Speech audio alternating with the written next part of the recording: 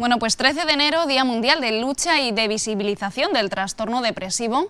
Por ese motivo y porque la asociación LASUS cumple 26 años cuidando la salud mental de los albaceteños, esta asociación organiza una charla a partir de las 7 de la tarde en la Casa de la Cultura José Saramago. Un encuentro con entrada libre para todo aquel que desee participar Ponencia a cargo de María José González Belmonte, psicóloga de LASUS, que explicará algunos de los mitos más extendidos en torno a la depresión.